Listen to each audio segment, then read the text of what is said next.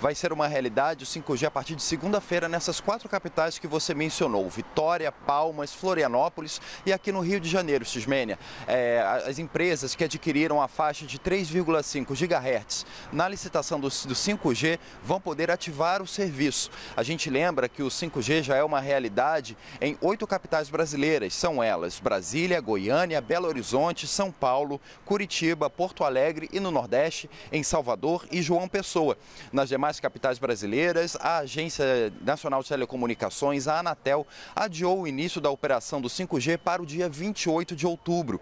Esse adiamento deve permitir as ações de desocupação da faixa e a correção de eventuais interferências. Cabe a gente lembrar aquelas pessoas que recebem sinal de TV aberta por antena parabólica, que também vão precisar adaptar os equipamentos para evitar essas interferências. O conselheiro da Anatel, Moisés Moreira, explicou que a agência vai começar a fiscalizar os serviços prestados pelas empresas com a tecnologia 5G a partir do fim de setembro. Vamos ver.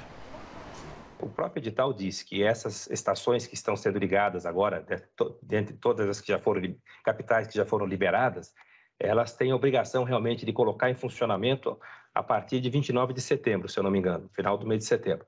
Então, elas estão funcionando. A Anatel já tem um PAC, está acompanhando e a partir dessa data ela vai fiscalizar. Mas assim, ela não está comercializando ainda também.